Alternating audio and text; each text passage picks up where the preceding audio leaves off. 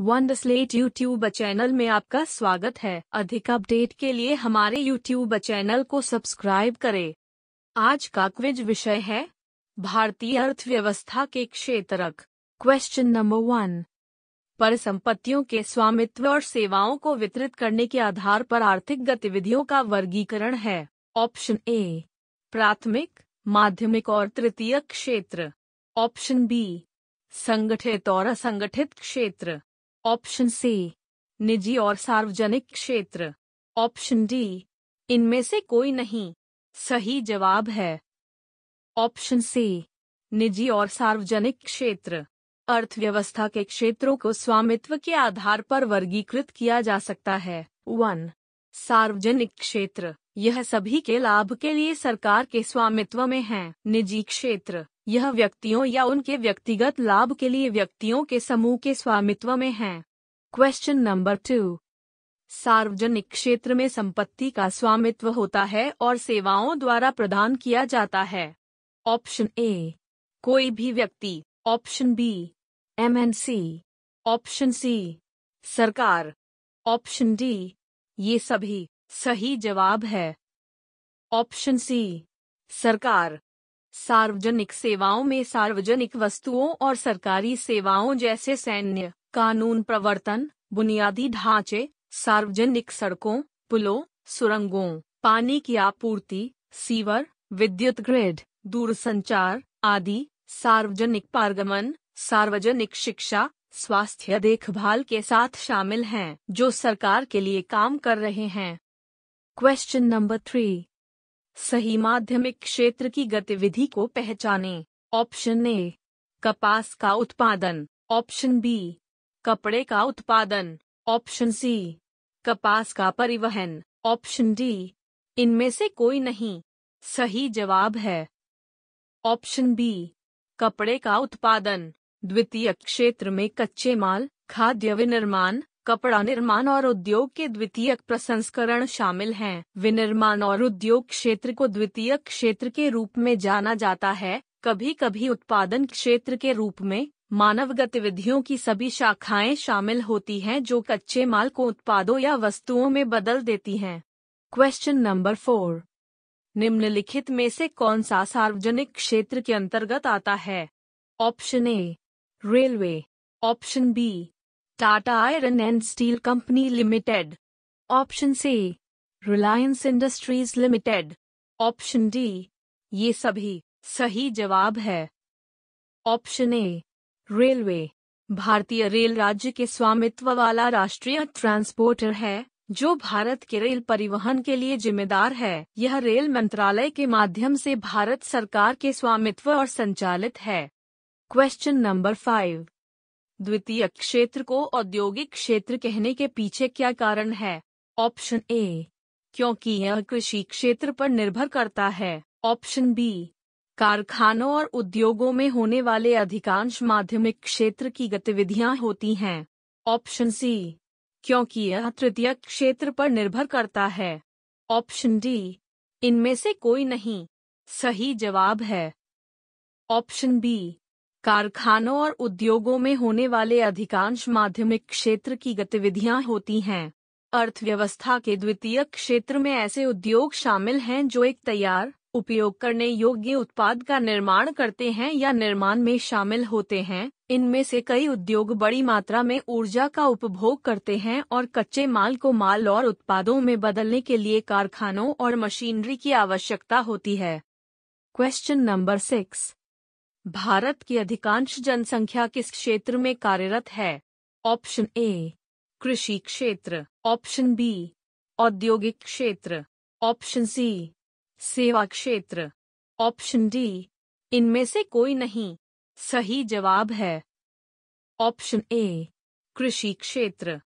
कृषि कार्यबल में व्यापक रूप से वृद्धि हुई है। नहीं, कृषि के तहत काम करने वाली आबादी लगभग 70 परसेंट है। जिसमें ग्रामीण आबादी 80 परसेंट है। भारत की राष्ट्रीय आय में कृषि बहुत तेज़ी से योगदान दे रही है। भारत के सकल घरेलू उत्पाद में कृषि की हिस्सेदारी 20.5 परसेंट है।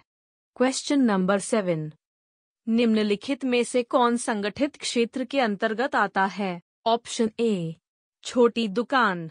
Option B MNC option C dhaba. Option D ये सभी। सही जवाब है। ऑप्शन बी एमएनसी संगठित क्षेत्र एक ऐसा क्षेत्र है जहाँ रोज़गार की शर्तें नियत और नियमित होती हैं और कर्मचारियों को सुनिश्चित काम मिलता है। क्वेश्चन नंबर एट, सार्वजनिक क्षेत्र का उद्देश्य है। ऑप्शन ए, लाभ कमाने के लिए। ऑप्शन बी, सामाजिक कल्याण। ऑप्शन सी, दोनों ए बी। ऑप्शन डी इनमें से कोई नहीं। सही जवाब है।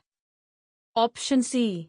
दोनों ए बी। सार्वजनिक क्षेत्र के संगठन एक लाभ कमाने के बजाय एक सार्वजनिक सेवा प्रदान करने के उद्देश्य से स्थापित व्यवसाय हैं। सामाजिक उद्यम निजी संगठन हैं जो व्यावसायिक लाइनों के साथ चलाए जाते हैं, लेकिन जहाँ किसी भी मुनाफे को समुदाय में या सामाजिक या पर्यावरणीय परियोजनाओं में पुनर्निवेश किया जाता है।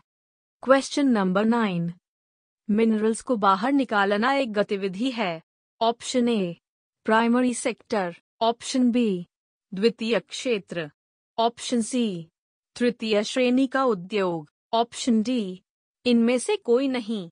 सही जवाब है। ऑप्शन ए प्राइमरी सेक्टर अर्थव्यवस्था के प्राथमिक क्षेत्र में प्राकृतिक संसाधनों के निष्कर्षण और संग्रह में शामिल कोई भी उद्योग शामिल है, जैसे कि खेती, वानिकी खनन और मछली पालन। क्वेश्चन नंबर टेन निजी क्षेत्र के व्यवसायों का मुख्य उद्देश्य है। ऑप्शन ए सामाजिक कल्याण। ऑप्शन बी राजनीतिक शक्ति। ऑप्शन सी अधिक लाभ। ऑप्शन डी इनमें से कोई नहीं। सही जवाब है। ऑप्शन सी अधिक लाभ।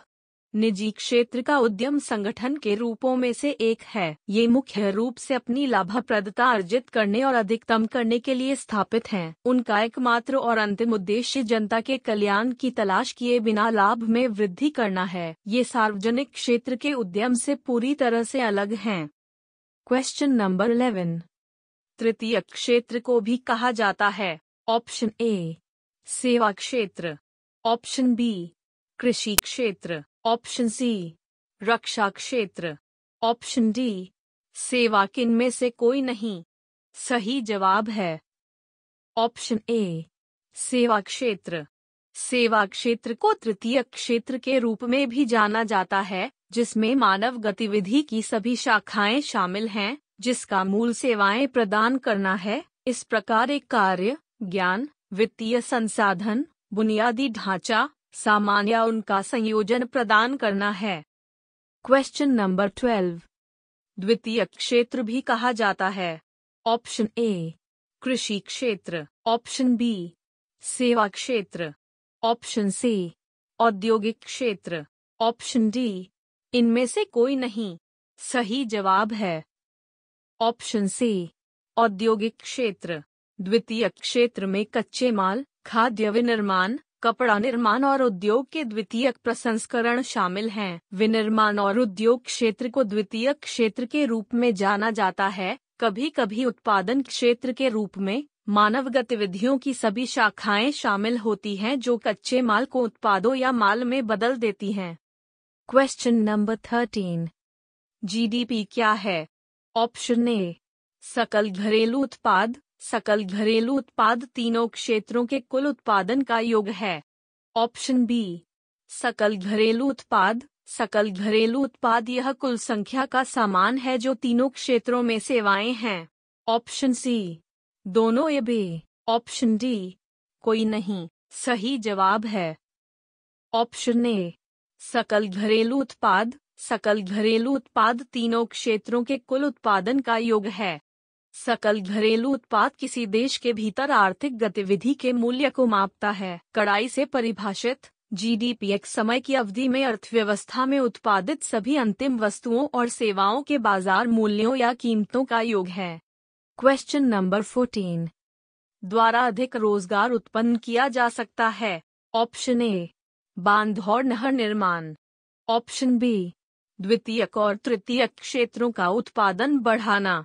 ऑप्शन सी अर्ध ग्रामीण और ग्रामीण क्षेत्रों में उद्योगों और तृतीय क्षेत्र की गतिविधियों को बढ़ावा देना। ऑप्शन डी, ये सभी सही जवाब है। ऑप्शन डी, ये सभी जिन तरीकों से भारत जैसे देश में अधिक रोज़गार सृजित किए जा सकते हैं, वे हैं। आ, यदि अधिक बाँध बनाए जाते हैं और सभी छोटे किसानों को नहर का पानी उपलब्ध कराया जाता है तो कृषि क्षेत्र में बहुत सारे रोज़गार पैदा हो सकते हैं। टू सस्ती ऋण सुविधाएँ और फ़सल बीमा प्रदान करने के परिणाम स्वरूप अधिक रोज़गार मिल सकता है। क्वेश्चन नंबर फिफ्टीन जीडीपी की गणना करते समय केवल तैयार माल के मूल्यों पर विचार करने की आवश्यकता क्यों है? ऑप्शन केवल तैयार माल का उच्च मूल्य है। ऑप्शन बी अंतिम माल के मूल्य में पहले से ही मध्यवर्ती माल का मूल्य शामिल है। ऑप्शन सी, अंतिम माल के मूल्य में पहले से ही विनिर्माण का मूल्य शामिल है। ऑप्शन डी, इनमें से कोई नहीं। सही जवाब है। ऑप्शन बी, अंतिम माल के मूल्य में पहले से ही मध्यवर्ती माल का मूल्य शामिल है। केवल अंतिम सामान को जीडीपी को मापने में गिना जाता है क्योंकि अंतिम अच्छा बनाने में इस्तेमाल होने वाले सामान को अंतिम अच्छे में शामिल किया जाता है, इसलिए इसे दो बार गिना जाएगा। अन्यथा उपयोग किए गए फर्नीचर का मूल्य जो खरीदा और बेचा जाता है, उसे गिना नहीं जाता है क्योंकि इस्तेमाल किए गए फर्नीचर को जीडीपी में एक साल पहले शामिल किया गया होगा। क्वेश्चन नंबर सिक्सटीन बेरोजगारी शब्द किससे संबंधित है? ऑप्शन ए लोग पूरी तरह से नियोजित नहीं हैं। ऑप्शन बी लोग काम करते दिखते हैं, लेकिन उन्हें उनकी क्षमता से कम काम करने के लिए बनाया जाता है। ऑप्शन सी, ये दोनों। ऑप्शन डी, ये दोनों इनमें से कोई नहीं। सही जवाब है। ऑप्शन सी, ये दोनों। वह स्थिति जिसमें श्रम बल में लोग पूर्णकालिक या नियमित नौकरियों से कम या रोज़गार पर होते हैं, उनके प्रशिक्षण या आर्थिक जरूरतों के संबंध में अपर्याप्त होते हैं। बेरोजगार होने की स्थिति। क्वेश्चन नंबर सेवेंटीन बेरोजगारी को प्रच्छन्न बेरोजगारी भी कहा जाता है क्योंकि ऑप्शन ए, एक बेरोजगार व्यक्ति के विपरीत बेरोजगार व्यक्ति की स्थिति छिपी हुई है। ऑप्शन बी, एक नियोजित व्यक्ति के विपरीत बेरोजगार व्यक्ति की स्थिति दर्शनीय है। ऑप्शन सी, एक नियोजित व्यक्ति के विपरीत बेरोजगार व्यक्ति की स्थिति दर्शनीय है। ऑप्शन डी, इनमें से कोई नहीं। सही जवाब है। ऑप्शन ए, एक बेरोजगार व्यक्ति के विपरीत, बेरोजगार व्यक्ति की स्थिति छिपी हुई है। जब लोगों की आवश्यकता से अधिक संख्या उत्पादक गतिविधियों में लगी होती है तो इसे बेरोजगारी कहा जाता है। इस मामले में, एक व्यक्ति द्वारा किया गया कार्य छिपा हुआ है और भले ही उस व्यक्ति को रोज़गार से हटा दिया गया हो, लेकिन उत्पादन वही रहेगा। इसलिए, बेरोजगारी को प्रच्छन्न बेरोजगारी के रूप में भी जाना जाता है। क्वेश्चन नंबर एटीन विकास के प्रारंभिक चरणों के दौरान कौन सा क्षेत्र महत्वपूर्ण था? ऑप्शन ए कृषि. ऑप्शन बी औद्योगिक. ऑप्शन सी सेवा. ऑप्शन डी कोई नहीं, सही जवाब है. ऑप्शन ए कृषि. प्राथमिक क्षेत्र विकास के प्रारंभिक चरणों में आर्थिक गतिविधि का सबसे महत्वपूर्ण क्षेत्र था. क्वेश्चन नंबर नाइनटीन आर्थिक गतिविधि को पहचाने। ऑप्शन ए, बगीचे में खेल रहे बच्चे। ऑप्शन बी, स्कूल में पढ़ाने वाले शिक्षक। Option C, treasure hunt game में भाग लेते बच्चे। ऑप्शन डी, ये सभी सही जवाब है। ऑप्शन बी, स्कूल में पढ़ाने वाले शिक्षक। अर्थशास्त्र एक सामाजिक विज्ञान है और मनुष्य एक सामाजिक प्राणी है, इसलिए एक अर्थव्यवस्था के भीतर हर व्यक्ति को पैसे कमाने के लिए या विभिन्न चाहतों को पूरा करने के लिए कई गतिविधियाँ करनी पड़ती हैं। इनमें खेती और खेती, औद्योगिक कार्य, शिक्षण, विपणन, कपड़े धोना आदि शामिल हैं। क्वेश्चन नंबर ट्वेंटी नरेगा का फुल फॉर्म क्या है? ऑप्शन ए राष्ट्रीय तर्कसंगत रोज़गार गारंटी अधिनियम। ऑप्शन बी राष्ट्रीय ग्रामीण रोज़गार गारंटी अधिनियम। ऑप्शन सी राष्ट्रीय ग्रामीण रोज़गार मार्गदर्शन अधिनियम। ऑप्शन डी इनमें से कोई नहीं। सही जवाब है। ऑप्शन बी राष्ट्रीय ग्रामीण रोज़गार गारंटी अधिनियम। राष्ट्रीय ग्रामीण रोज़गार गारंटी अधिनियम 2005 या नरेगा नंबर 42, जिसे बाद में महात्मा गांधी राष्ट्रीय ग्रामीण रोज़गार गारंटी अधिनियम नरेगा के रूप में नाम दिया गया, एक भारतीय श्रम कानून और सामाजिक सुरक्षा उपाय है जिसका उद्देश्य काम का अधिकार की गारंटी देना है।